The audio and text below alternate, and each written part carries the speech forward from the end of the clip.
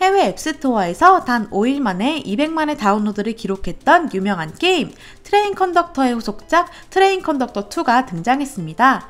이 게임은 미대륙을 무대로 하고 있는데요. 처음 시작하시면 어떻게 열차를 운행하는지에 관해서 연습해 볼 수 있는 기회가 주어집니다. 게임의 방법은 굉장히 간단한데요. 1, 2, 3번에 철로가 있는 것을 볼 수 있을 거예요.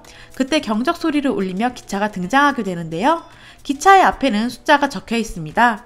그 숫자는 기차가 지나쳐야 할 철로의 숫자를 말해주고 있는 것인데요. 다른 철로에서 등장한 기차를 손으로 드래그해서 같은 숫자의 철로로 보내주시면 됩니다.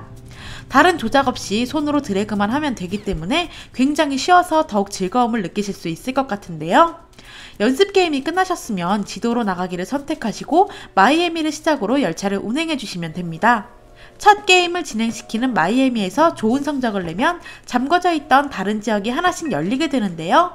각 지역마다 게임의 형태도 달라지고 배경도 다양하게 변하기 때문에 자칫하면 너무 간단해서 흥미를 이룰 수 있는 게임을 더욱 재미있게 해주는 것 같네요. 게임을 하던 도중 기차들끼리 충돌하여 게임 오버가 되는 경우가 있으실 거예요.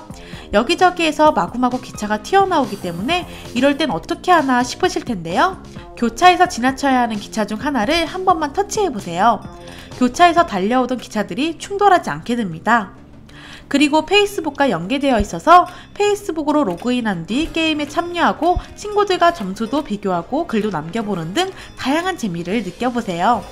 여러분, Train Conductor 2와 함께 오늘은 기차를 요리조리 운행해보는 기관사가 되어보는 것은 어떨까요? 더욱 자세한 정보를 원하시면 티스토어에서 트레인 컨덕터 2를 검색해보세요.